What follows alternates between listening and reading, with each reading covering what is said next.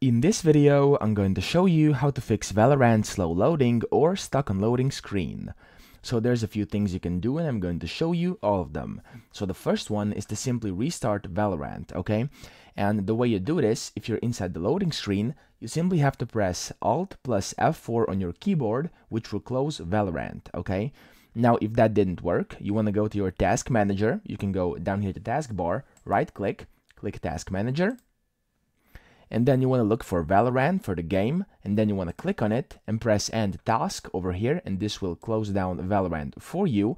And of course as I wrote over here you have to do the same thing for the Riot client. So you have to look for Riot client and then when you find the Riot client you want to press end task and this will close down Valorant for you completely. Then you want to simply open it up again, and this may fix your issue.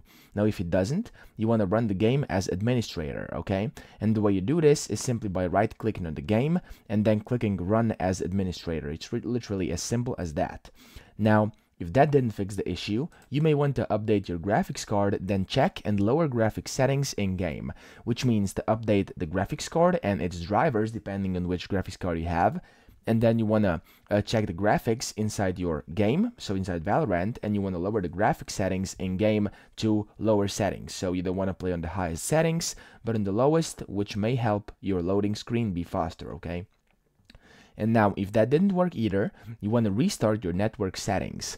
Now, the way you do this is simply by uh, clicking the Windows icon down here and typing in CMD. And then you want to open up the command prompt, okay? There we go, just like I did over here. And then as you can see over here, uh, I listed a few commands you want to run through this command prompt. So the first one is ipconfig slash flush DNS. So simply type that in, press enter, and then after you've done that, you want to type in the second one, so ipconfig slash uh, register DNS, and then enter, and then ipconfig slash release, and then yet again enter, then ipconfig slash renew, enter, and then netsh winsock reset, okay? And then once you've done that, you can simply run up the game again and see if that fixed the issue for you.